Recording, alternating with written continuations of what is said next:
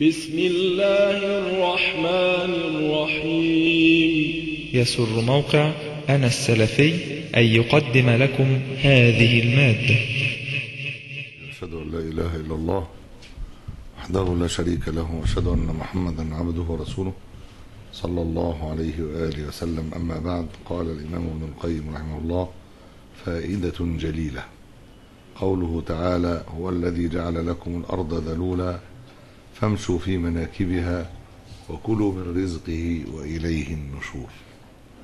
أخبر سبحانه أنه جعل الأرض ذلولا منقادة للوطء عليها وحفرها وشقها والبناء عليها ولم يجعلها مستصعبة ممتنعة على من أراد ذلك منها.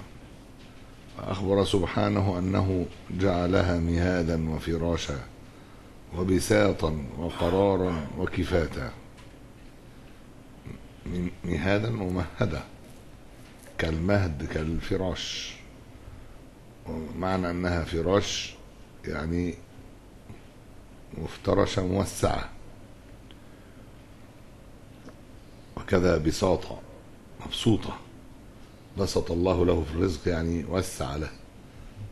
ولا ولا يفهم منها أنها فراش بمعنى مثلا أو بساط كال كالشيء الذي يفرش سجادة أو نحوها ليس كالكرة بس ياتي كلام ابن القيم رحمه الله أنها كالكرة.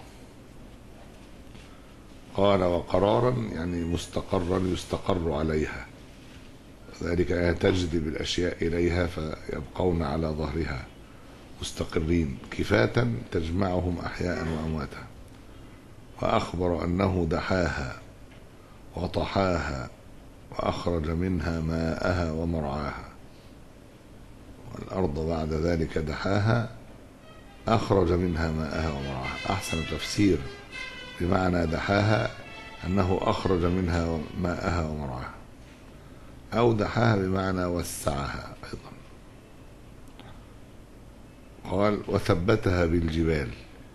ونهج فيها الفجاج والطرق جعل فيها الفجاج والطرق وأجرى فيها الأنهار والعيون وبارك فيها وقدر فيها أقواتها خلق الأرض ذكر في مواضع عديدة جمع الله هذه الصفات فيها لأنها نعم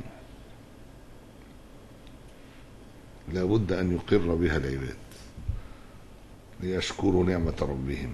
قال ومن بركتها أن الحيوانات كلها وأرزاقها وأقواتها تخرج منها. صحيح أن كل المخلوقات على الأرض نبتهم من الأرض. الله أنبتكم من الأرض نباتا. وهذا مفهوم أن كل المواد التي في أجسام الكائنات الحية كانت ترابا وماء وتحولت عبر سلسلة من التفاعلات إلى الأجساد الحية. وإلا فمن أين تأتي هذه المادة؟ تعالوا نشوف مادة النبات جاية منين. من الأرض. والحيوان يتغذى على الإيه؟ على النبات. والإنسان وبعض الحيوانات يتغذون على النبات والحيوان. يبقى العناصر دي لازم هتكون هي نفسها الموجودة في الإيه؟ في الأرض. ما هيجي من, من أين تأتي؟ لابد أن تأتي إحنا بنتولد 3 كيلو والواحد دلوقتي في ناس ممكن يبقوا فوق ال 100 كده وفي ناس يبقوا حول ال 100 أقل حاجة 60 و70 جم منين الزيادة دي؟ جت من اين من اي من أين أتت؟ من مما يتناول الإنسان من الطعام والطعام ده جاي منين؟ من نباتات الأرض وحيوانها وحيوانها والاثنين دول جايين من الأرض وكذا الأرزاق قال ومن بركتها أنك تودع فيها وبارك فيها وقدر فيها أقواتها وبارك فيها. من بركتها أنك تودع فيها الحب فتخرجه لك أضعاف أضعاف ما كان. حباية واحدة تنبت 700 وزيادة. ومن بركتها أنها تحمل الأذى على ظهرها وتخرج لك من بطنها أحسن الأشياء وأنفعها. حطوا السماد يطلع إيه؟ يطلع نبات. السماد ده ممكن أحيانا فضلات خبيثة الرائحة وخبيثة الطعم. عندهم دلوقتي السماد ال-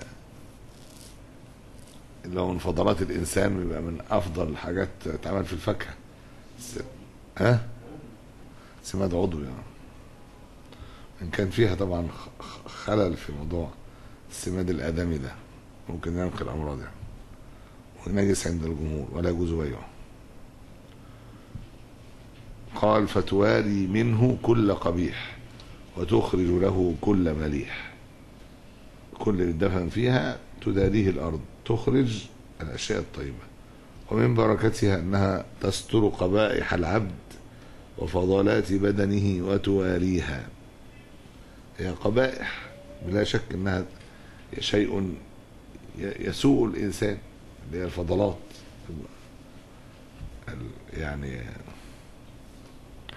البول والبراز وغيرها.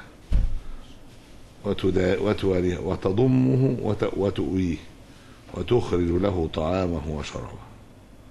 فهي أحمل شيء للأذى وأعوده بالنفع. كل هذا من بركتها. فلا كان من التراب خير منه. وأبعد من الأذى وأقرب إلى الخير. يقول ليس هناك شيء حاصل من التراب خير من التراب. يعني التراب فيه خير كتير جدا. يعني بياخد منك الأذى ويطلعه لك إيه؟ يطلعه لك خير. فالتراب خير يعني. ولذلك غباء إبليس إنه استحقر الإيه التراب. تلاقي النار النار فيها مفاسد إيه؟ كثيرة جدا. فيها منافع آه بس بس لها مفاسد عظيمة. وفيها طيش وخفة وفيها حب علو. تلاقي أسئلة النار طالعة فوق. أما الطين فإيه؟ ففيه الرسوخ والهدوء ودائما يأتي بالخير. قال فلا كان من التراب خير منه وأبعد من الأذى وأقرب إلى الخير. منه. والمقصود أنه سبحانه جعل لنا الأرض كالجمل الذلول الذي كيفما يقاد ينقاد. وحسن التعبير بمناكبها. فامشوا في مناكبها. حسن التعبير بمناكبها عن طرقها وف- وفجاجها لما تقدم من وصفها بكونها ذلولا. فالماشي عليها يطأ على مناكبها وهي أعلى شيء فيها. هي فسرت بالجبال أو فسرت بسطح الأرض. إن أعلى الكرة سطحها. الأشياء العلو والانخفاض نسبية فكلما قرب من المركز كان باطن الكرة وكلما بعد عن المركز فهو ظاهر الإيه؟ الكرة أو أعلاها. قال فالماشي عليها يطأ على مناكبها وهي أعلى شيء فيها. ولهذا فسرت المناكب بالجبال كمناكب الإنسان وهي أعاليه. المنكب معروف هو من أعلى من أعلى أجزاء البدن من رأس أعلى منه. قالوا وذلك تنبيه على أن المشي في سهولها أيسر. لكن هذا لا يتناسب مع السياق. فامشوا في مناكبها يعني في جبالها آه، الذي هو أغلب الأحوال أنه يمتنع أن يكون حالا عاديا للإنسان. المشي في الجبال المشي في الجبال ليس هو المعتاد. فالامتنان إنما يكون بشيء يعرفه أكثر الناس. والأمر فامشوا فامشوا. الذي هو الإباحة في مناكبها.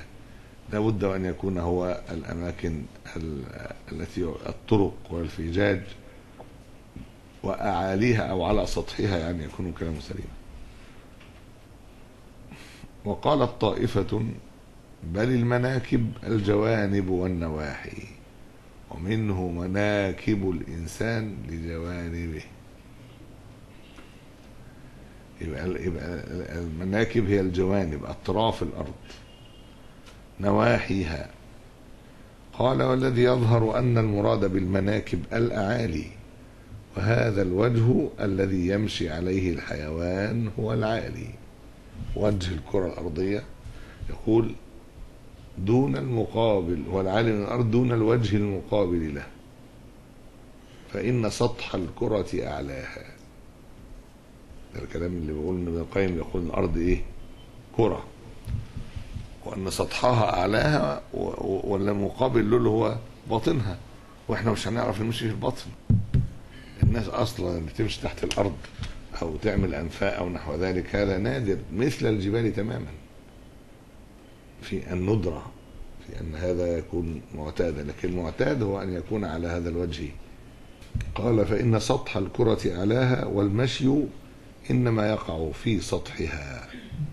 وحسن التعبير عنه بالمناكب. لما تقدم من وصفها بأنها ذلول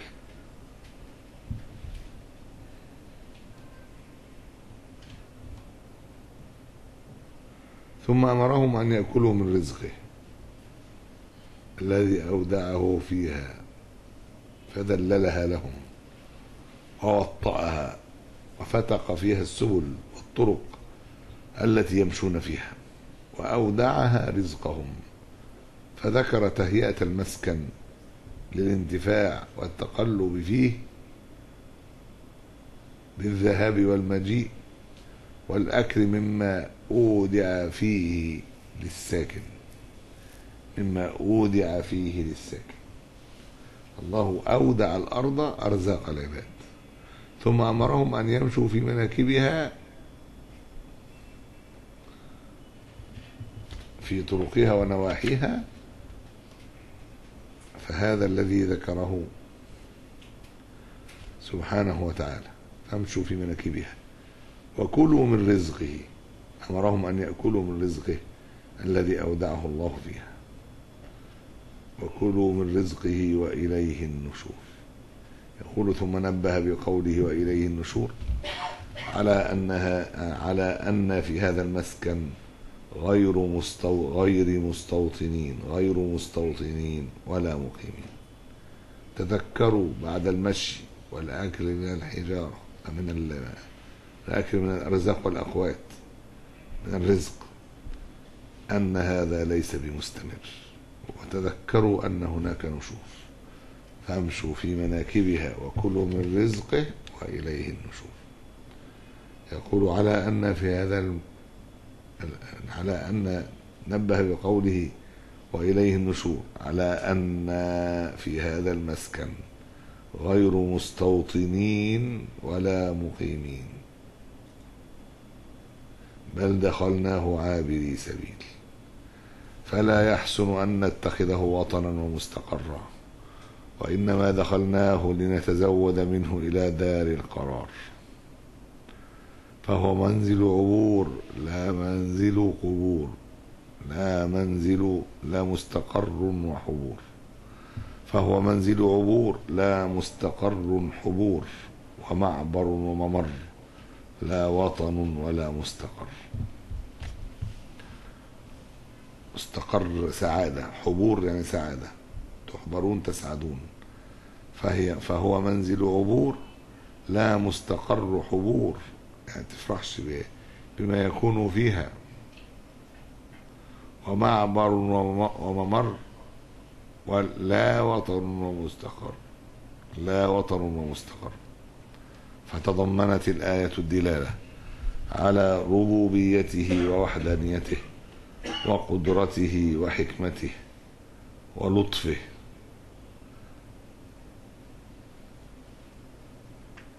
ذلك أن قوله عز وجل هو الذي جعل لكم. هذه ربوبية هو وحده سبحانه وتعالى الذي فعل ذلك. فامشوا في مناكبها وكلوا من رزقه وإليه النشور. قدرة الآية دلت على قدرته عز وجل أنه الذي جعل الأرض ذلولا حكمته لأن هناك نشور وحساب وجزاء وثواب وعقاب. وأنه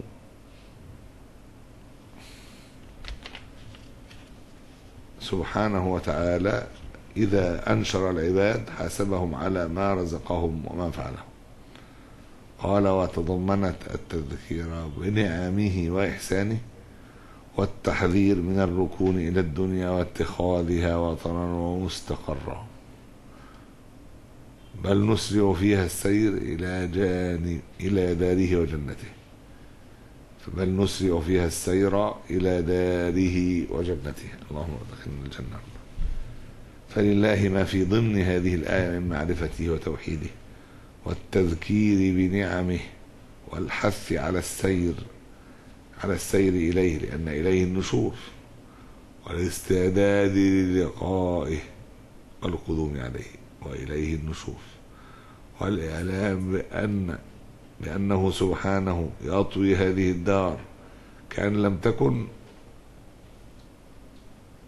وأنه يحيي أهلها بعد موتها وإليه النشور.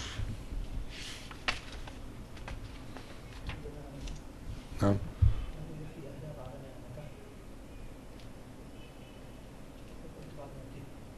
بعد موتهم؟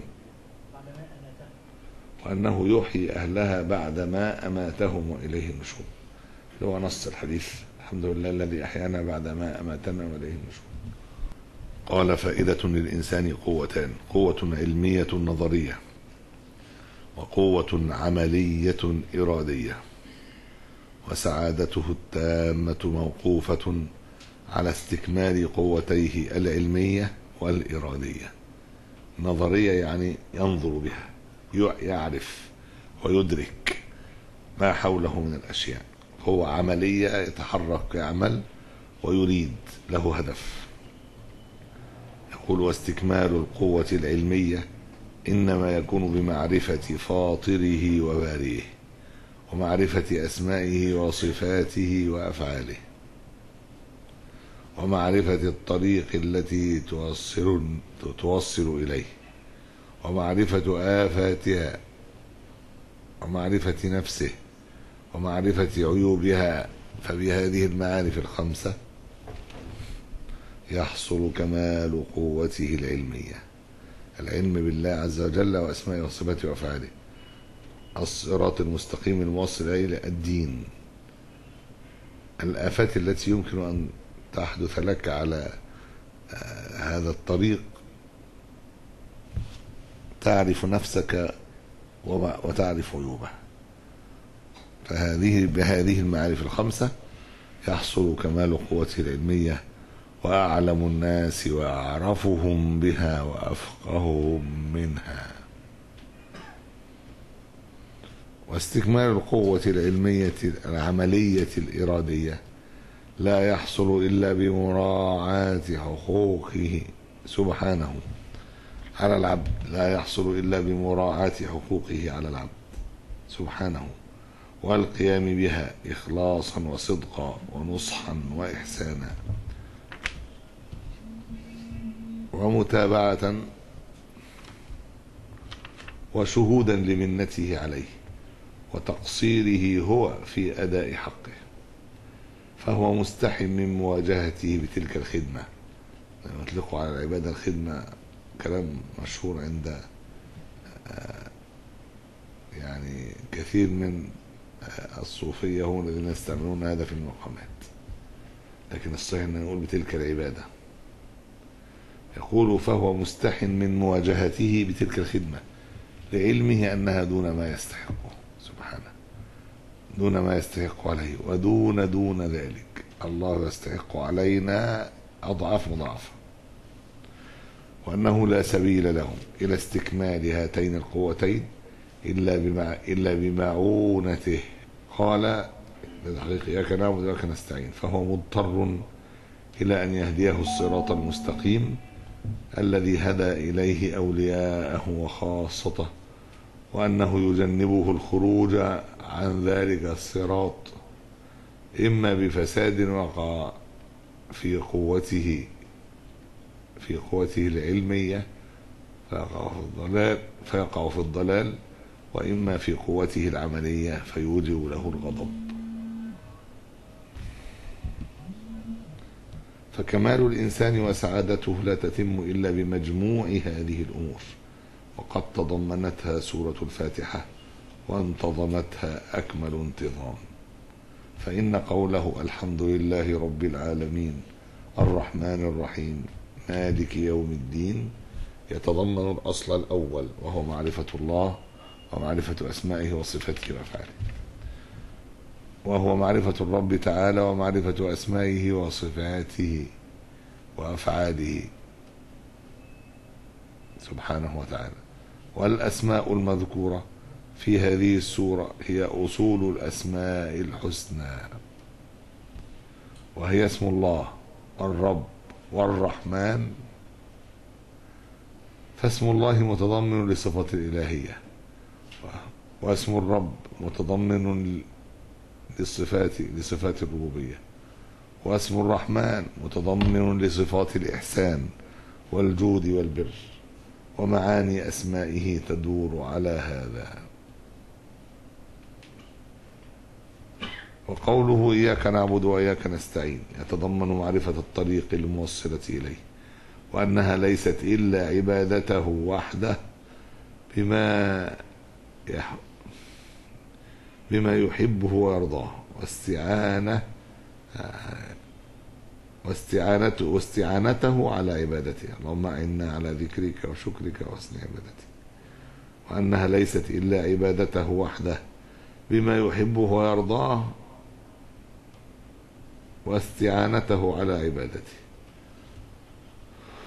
وقوله اهدنا الصراط المستقيم يتضمن بيان أن العبد لا سبيل له إلى سعادته إلا باستقامته على الصراط المستقيم وأنه لا سبيل له إلى إلى الاستقامة إلا بهداية ربه له كما لا سبيل له إلى عبادته إلا بمعونته.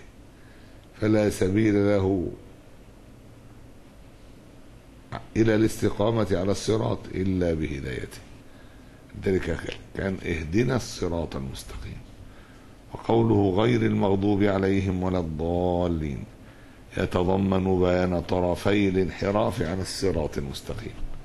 وأن الانحراف إلى أحد الطرفين انحراف إلى الضلال. الذي هو فساد العلم والاعتقاد. والانحراف إلى الطرف الآخر انحراف إلى الغضب الذي سبب الذي سببه فساد القصد والعمل. فأول السورة رحمة وأوسطها هداية وآخرها نعمة. وحظ العبد من النعمة على قدر حظه من الهداية. وحظه من وحظه منها على قدر حظه من الرحمة. فعاد الأمر إلى كله إلى نعمته ورحمته والنعمة والرحمة من لوازم ربوبيته فلا يكون إلا رحيما منعما. وذلك من موجبات إلهيته من موجبات إلهيته فهو الإله الحق وإن جحده الجاحدون. وعدل به المشركون فمن تحقق بمعاني الفاتحة علما ومعرفة وعملا وحالا فقد فاز من كماله. بأوفر نصيب وصارت عبوديته عبودية الخاصة الذين ارتفعت درجتهم عن عوام المتعبدين عن أكثر المتعبدين. والله المستعان. قل قل هذا واستغفر الله. قل إن صلاتي ونسكي ومحياي ومماتي لله لله رب العالمين. لا شريك له وبذلك أمرت وأنا أول المسلمين.